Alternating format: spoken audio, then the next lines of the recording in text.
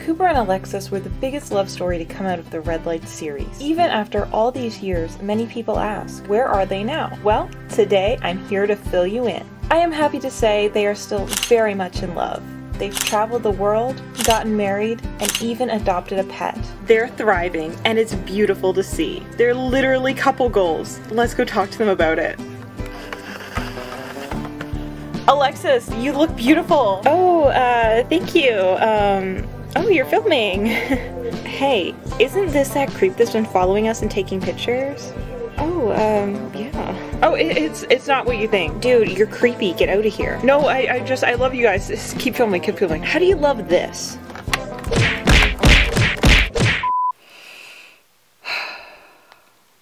Another great love story from Red Lights was the love triangle between Velvet, Red, and Diesel. Who would she choose? Who was her perfect match? Well, today we're going to find out.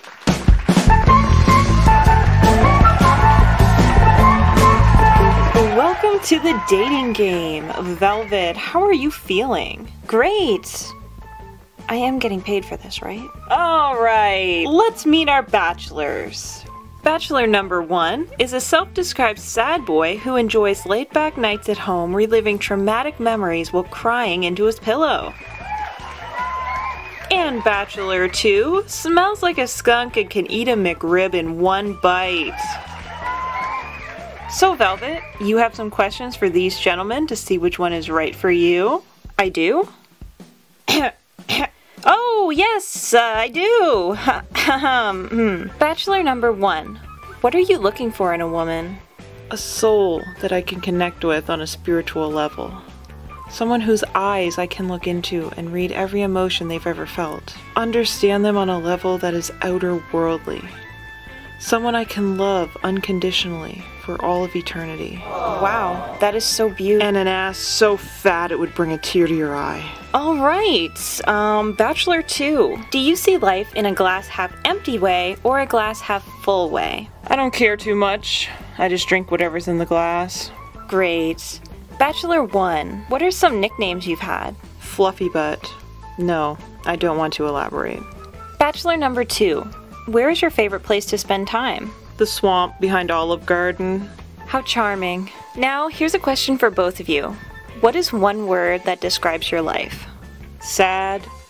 Chaotic. Okay, Bachelor number one. Do you spend time on the internet?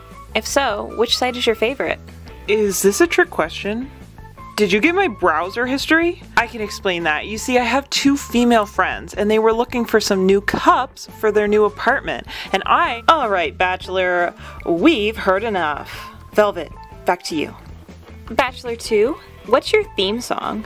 Anything from the Shrek soundtrack. Alright, Bachelors, this is another one for both of you. A kid comes up to you and kicks you in the shin. What do you do? Talk to them with compassion and understanding to really try and figure out where this acting out behavior is coming from. I'd beat that little bastard into the pavement. Okay, uh, Bachelor 1. A cashier gives you back way too much money. What do you do? Honestly, I'd take the money and run. yes, sir.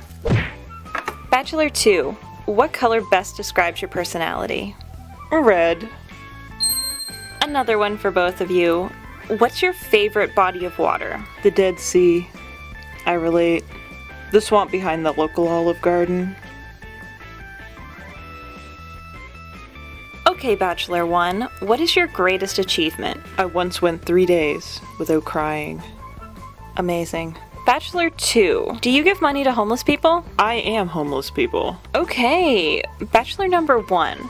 If you could change one mistake from your past, what would it be? The cashier at the movie theater once said, Enjoy the movie.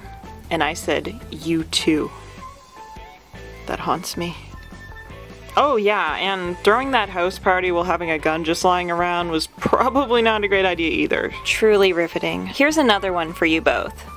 How do you de stress from a bad day? Crawl into my bed and violently cry into my pillow. Light up a fat joint. Alright, Bachelor 2. Where is a perfect first date spot? The swamp behind Olive Garden. Man, you just gotta be there. Bachelor 1, what are your best qualities? A homeless man once told me that I had soulful eyes. Did I tell you that? Bachelor 2, do you have any children? Not that I know of. Bachelor 1, where do you see yourself in 10 years? Deader than I am now. All right, Velvet, it's that time in the show where you have to narrow things down and choose who do you like to ask your remaining questions to. So, who is it gonna be?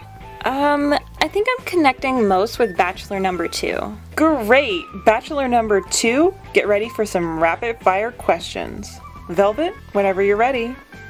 Okay, Bachelor number 2, who do you live with? Currently a pretty rabbit sewer rat I've named Conway Twitty. What is the last book you read, and did you enjoy it? I have never read a book in my life. What do you wish others knew about your heart or the way that you think? Probably that my thoughts are so much worse than my actions, so you should all be grateful. Did you go to college? Is that a joke? What does your perfect weekend look like? It's gotta be spending time at the swamp. Let me guess. The swamp behind Olive Garden? oh my god.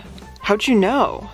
And that concludes question period. Bachelors, do you have any last words? Actually, let's save the suspense. I already know who I'm gonna choose. Oh wow, who is it gonna be?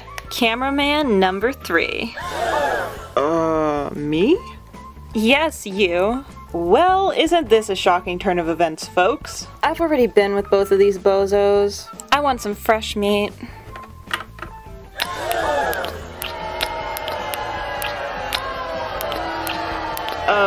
She is sick for this. Well, sorry fellas, guess it didn't work out this time. But hey, we've still got that free fancy romantic dinner giveaway. What do you say?